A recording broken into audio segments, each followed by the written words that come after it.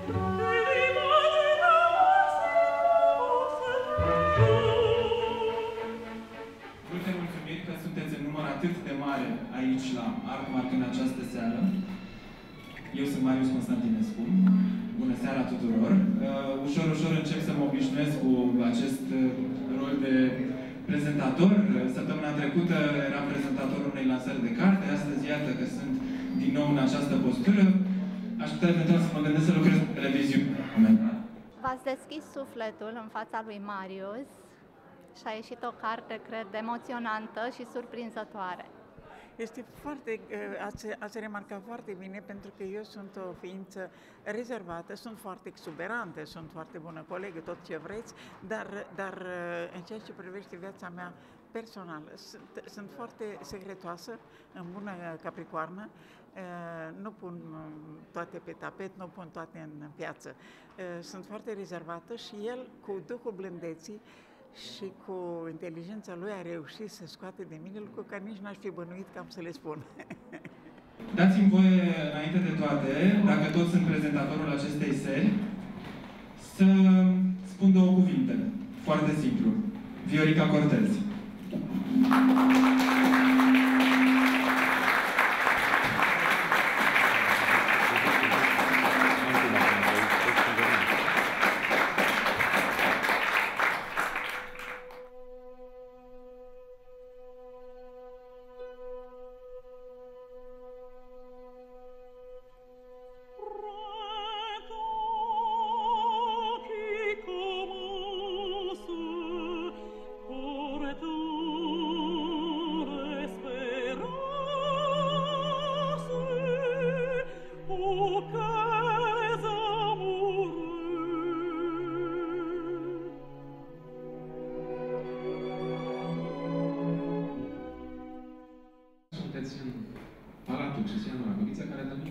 explică rolul uh, oarecum suspect pe care eu îl am, interstițial și suspect pe care eu îl am în această uh, scurtă relatare.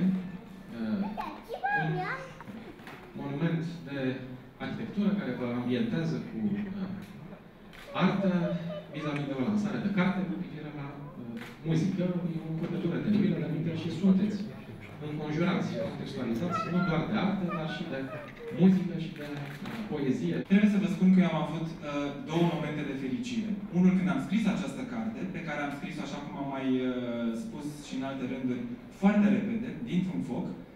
Și a doua, al doilea moment a fost atunci când am aflat că va vorbi de, de această carte domnul Dan Cemiculescu. Să vă spun că acum o săptămână m-am simțit într-un fel mult mai adecvat și mult mai, uh, mai familiar când i-am lansat lui Marius traducerea deci exact acum șapte zile, traducerea unui dicționar îndrăgostit de vii, al lui Bernard Pivot. A apărut la, uh, tot la editura baroc și ca să fac o legătură și cu Marius și cu doamna uh, Cortez, am să vă spun, pentru a rezuma un pic uh, personalitatea artistei și a doamnei de astăzi seară, să vă spun că la o întrebare dilematică pe care o pune Marius și anume, doamnă, vin alb sau vin roșu? Este foarte greu să ieși dintr-o dilemă de acest gen. Alții ar fi spus că depinde de meniu, depinde de stare, depinde de ora zilei. Ei bine, însă a tăiat gordianic notul și a spus șampanie, dragă. Logic. Este perfect așa. În al doilea rând mai fac un pocol și vă cer iertare, cred că toți ar trebui să o facem, pentru că într-un fel comitem o micuță impietate, intrând într-o relație, în, într-un cut fudr între doi oameni de vârste diferite, dar care s-au înțeles și au ajuns la o, la o reciprocitate de afectivitate, de spirit, de construcție ar, artistică perfect ca o punte peste timpul. Și al treilea de tur îl fac, eu care sunt părinte la rândul meu, Înainte de a felicita pe autor, le mulțumesc și felicit pe părinții săi, pentru că de la vârsta de 3 ani, Marius a mărturisit că a crescut pur și simplu la operă, în fosă, cu orchestra știind toate rolurile, intrând practic în toate personajele, plângând efectiv la patru ani și necrezând că personajul de pe scenă, tatăl poate să și moară, asta este... Am adunat de-a lungul timpului atât de multe povești de la doamna Viorica Cortez, încât mm, îmi părea rău să le țin doar pentru mine sau să le știm doar o mână de, de apropiați. Am spus că uh, sunt povești mult prea frumoase pentru a nu le ști o lume întreagă sau cel puțin o lume care iubește opera, iubește teatrul liric și iubește unul dintre cele mai frumoase personaje din ultimii 40 de ani ai istoriei teatrului liric. Povestea a început uh, printr-un simplu mesaj în care Marius mă ruga dacă se poate, prin intermediul Asociației pentru Muzică, Artă și Cultură, să sprijin uh, apariția acestei cărți, o carte dedicată unui mare nume al scenei lirice internaționale. Însă mi-a pus o condiție. Te rog să citești manuscrisul. Mărturisire. Trei zile, dar mi-am impus să citesc doar 50 de pagini, pentru că nu pot să o lași din mână. Uh, am citit, am citit. E adevărat, de doamna Cortez auzisem, uh, știți cum este, auzi de nume importante, românești, din străinătate, iubitor de operă fiind, am auzit, nu v-am cunoscut, sunt super încântat că sunt aici. Dar prin răsfoirea acelor pagini scrise de tine, dragă Marius, am descoperit-o. Și iată că totuși astăzi uh, sunt aici și am reușit împreună să facem această carte.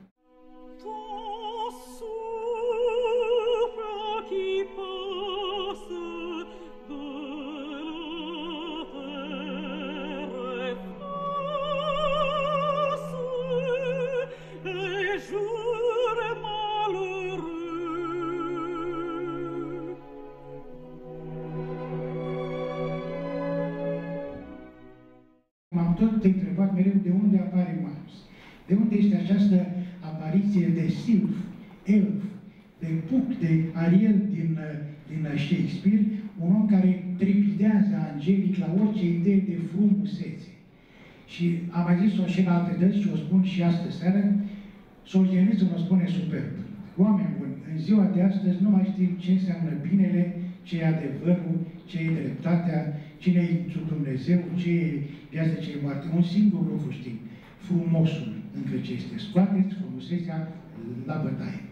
E bine, și în dicționarul din dragoste de vin și în această carte, mai îți dăm, pe primul rând, o lecție de trăit existența frumos, armonios, cu toate simțurile la pândă, știe să audă, știe să vadă, știe să pipăie, știe să iroase, este un om care are simțurile cultivate. E bine, cred că înspre dumneavoastră numai un astfel de om trebuia să vină dintr-un alt timp, dintr-o altă vârstă, construit fizic, moral, profesional, într-o lume urâtă, într-o lume dictatorială, cu un, cu un aparat represiv pe capul nostru, dar care a știut foarte bine să intre în această levitație spirit, spirituală pe care ți-o dă muzica. E bine, și acum vin la, uh, scurt, cât de scurt, la personalitatea minunată de astă seară, care vreau să vă spun din capul locului, care vreau să-i mulțumesc că se află aici, pentru că nu există o mai mare nevoie în România de astăzi decât de oameni de acest gen. Și am să vă spun ce, ce fel de om am descoperit aici eu. Deci aici avem o carte bicefală. Pentru mulți cunoscători de operă de aici și care nu vin despre șoseaua Giurgiului, care au copilărit cu Zavaidoc și Gabi Luncă, ce se auzeau din Ferentarii de alături, cum am fost eu, deci într-un fel sunt oarecum inadecvat în acest loc, dar aveți dumneavoastră le connoisseur for the happy few, nu? aveți nume de prim plan. Deci, inutil să vă mai spun cine, doamna Cortez, cine era la Carmen, cine era la Cortez, cine era în anii dumnei până acum. Dar îi aveți aici. Aveți Scala, Metropolitan, Covent Garden, inclusiv cu Lordul care binevoiește socială de soție după un spectacol, logic, Lisabona, Chicago, Paris, Viena, Barcelona, Nice ne jucăm, ca să zic, zic așa, în, într-un salon cu Pavarotti, Domingo, Carreras, Monserrat, Fiorența Cosotto, ba încă, îi avem printre noi pe Alain Delon, Valérie Giscard d'Estaing, Jean-Paul Belmondo, Gina Lolo Brigida, Arthur Rubinstein, François Mitterrand, elas, Peter Ustinov, iar în sală, cum stați acum dumneavoastră, dânsa ea a avut pe Liz Taylor și Richard Barton between others. Bun.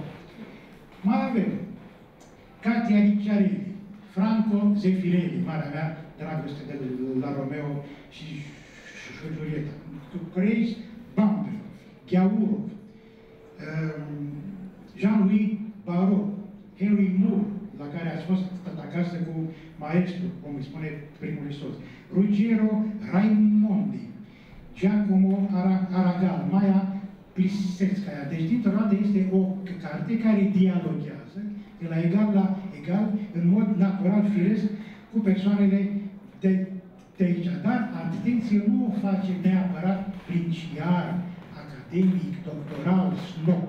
O face natural, cu acest amestec de, de sanguinitate latină, de capricorn și de om care îi place să să șarjeze. Am ascultat-o prima oară în concertul, celebrul concert uh, pentru România de la Staatsoper Viena din 90, când a cântat uh, o arie din Sanson și Dalila și a fost în primul rând uh, o voce care m-a cucerit, un stil anume, o, o distinție pe care sigur eu nu aveam în perioada aceea vorbele ca să o, o traduc, dar probabil că era o distinție franceză extrem de bine prezentă acolo. Și apoi la câteva luni am cunoscut omul și în momentul acela mi s-a deschis o lume care mi se pare una dintre cele mai frumoase lumi pe care le, le cunosc. Faptul că Marius a reușit să scoată această minunată carte grație prietenilor și celor care au vibrat alături de el, mi-au dat uh, puterea ca să fiu din nou cu ochii care sclipesc și inima care îmi bate. Consider că apariția acestei cărți era obligatorie.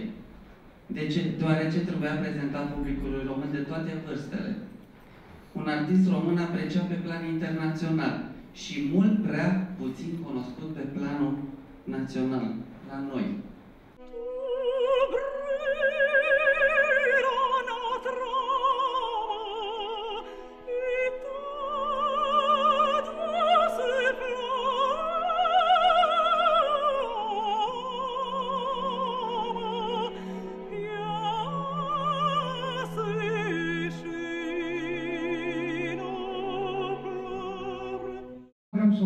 Suflet pe doamna de dincolo, de, de uh, scenă, care este, într-adevăr, pentru, pentru mine, a fost spectacolul minunat de aici. Un amestec de sinceritate, generozitate, pasiune, aminte nu poți să fii la Carmen ani și ani, pasiune și o generozitate și o uh, disponibilitate la nou, deschidere și firesc. Doamne, atâta naturalețe, așa frumoasă locuire a propriei persoane cum aveți dumneavoastră, pur și simplu vă călătoriți făptura regată. Știți să umblați înăuntru dumneavoastră, nu pâși, pâși, nu maestuos, nu ostentativ, umblați natural, firesc. Aveți o călcătură princiară în propria făptură și în viață. Vă strâng pe toți în brațe deodată ca să pot să, să fac un gest rapid, dar puternic. Să, să vă spun că vă iubesc și că vă mulțumesc din suflet pentru tot ce ați făcut uh, voi toți. Iar pentru cei care au venit uh, în, în acest moment, uh, aș dori să am forța ca să pot să mai vin să cânt.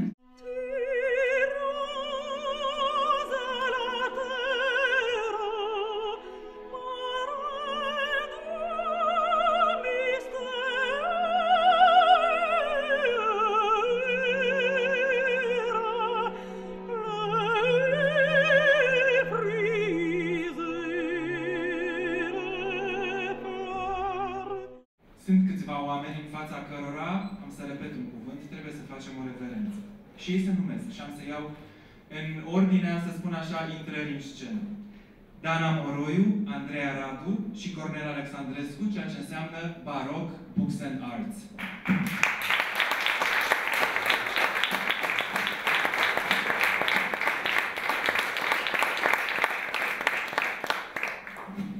La cum îi știu eu, uh, nu vor veni aici alături de noi, dar eu îi invit și rog să vină alături de noi, măcar acum către, către, către final. Apoi, această carte are o copertă. Sigur, pe copertă este una dintre fotografiile care mie îmi sunt cele mai dragi cu doamna Cortez, dar dincolo de asta, acolo mai este ceva. Este, i-aș spune, o fulgurație de culoare și de inspirație și uh, multora dintre noi acest stil inconfundabil ne este bine cunoscut. Este Ana Wagner, cea care a semnat vizualul copertei și îi mulțumim foarte mult.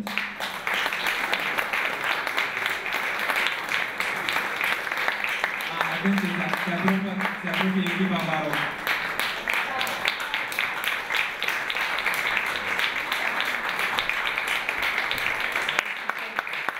Și dacă e și Ana pe aici, și dacă poate să vină alături de noi. Apoi, avem, avem uh, un adevărat eveniment în seara aceasta și uh, am vrut să aducem lângă noi niște oameni și niște nume care să fie uh, la înălțimea pe care ne-am dorit-o. Și avem lângă noi Tiforte, Mihaela Toma, Madame Lucie, Ana Maria Berețianu, Sâmbure și Aqua Carpatica, Valentina Wessler, Zebra Catering, Adina Skotnitski și, ca să terminăm cumva în aceeași notă în care am început, Artmar, bineînțeles, Alexandru Guldea și Valeriu Sângeorzan. Uh, ei sunt oamenii pentru care adresăm mulțumirile legate de seara aceasta și uh, cărora eu personal le mulțumesc pentru că au fost alături de mine. Și florile de la Dadu, evident. A mai rămas ceva nespus pentru o carte viitoare, eventual? A, bineînțeles, asta a fost așa o întâlnire de, de, de trei săptămâni, e, o zi da, una nu, cum spune el, dar e, este, e, cum să spun, în atâția ani de carieră și de viață e, internațională și de viață de femeie, e, cred că ar mai avea loc de încă două volume. Da, au rămas foarte multe lucruri nespuse, dar uh, uitându-mă pe carte, după aia mi-am dat seama că mai erau foarte multe lucruri pe care le puteam întreba. De altfel, eu am făcut destul de multe interviuri cu doamna Cortez de-a lungul timpului. Cine știe, poate va exista un volumul 2. je vis pas